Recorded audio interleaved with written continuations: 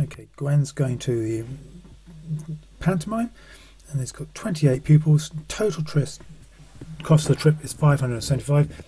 Use estimation. That means you have to use estimation to find an approximate cost of this trip for each pupil. It says what we've got to do. We've got to divide that.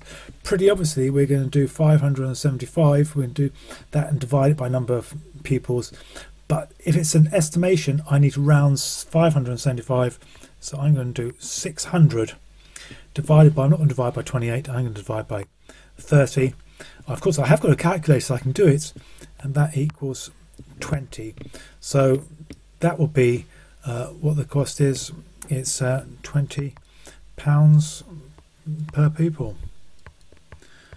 And that's is question 10 done.